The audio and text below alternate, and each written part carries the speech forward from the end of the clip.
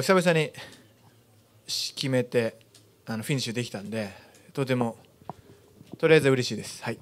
そうですね大まかなところはほぼほぼ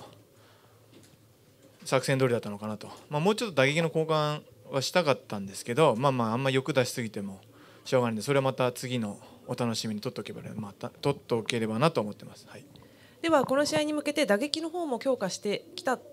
けれどもそこは出さずに終わったというところです。まあ、打撃の強化というかもそうですね。はい、自分の弱み弱点を埋める作業をずっとしてて、まあ、それがああやって前に出て戦うことの方が僕に合ってるなっていう、うん、形に見えてきたんで,、まあ、んで前出てって結果組めたら組んだで僕得意なんで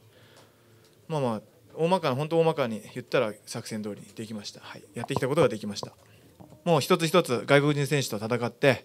勝っていってで本当ベラトールの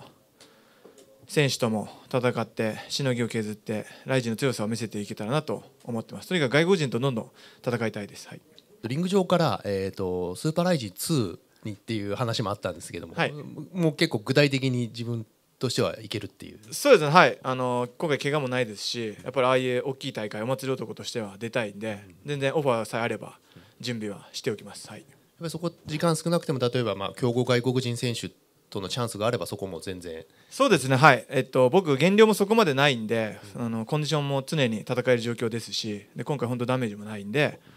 あのオファーがあればぜひ出たいなと思ってます、はい。ありがとうございます。